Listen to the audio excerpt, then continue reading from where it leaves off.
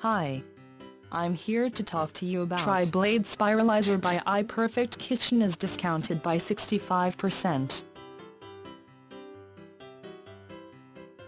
iPerfect Kitchen Management announced that they will increase the discount by a further 5% on the Tri-Blade Spiralizer for an indefinite period. Although they did reveal it will be a limited time offer no indication was made on the time frame involved.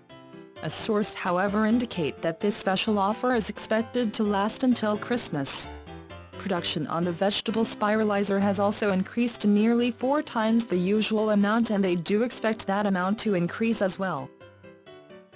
This spiralizer is one of the top choices for gifts and at this time of year everybody is buying gifts either for end-of-year functions, Christmas parties or Christmas gifts.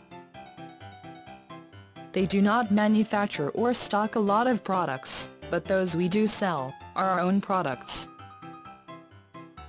They are familiar with them and have full confidence in regards to usability, safety and functionality.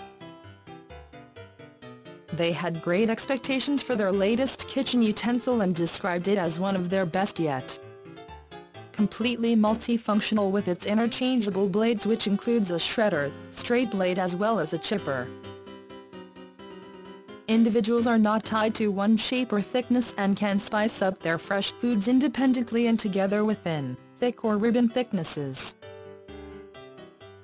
The possibilities are virtually endless and what makes it even more ideal is that no power cord or batteries are required.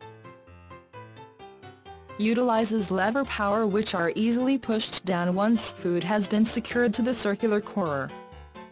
Although the launch price was 60% lower than our listed selling price, it is normal for us, as we always give special launch offers on new products. We did indicate that the offer will be valid until September 31st, which was the case.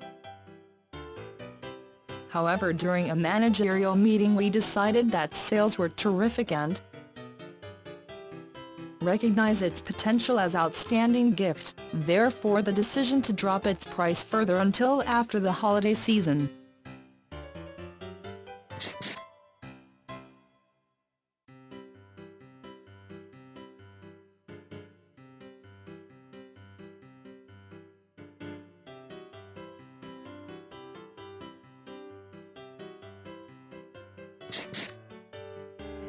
Hope you found it useful.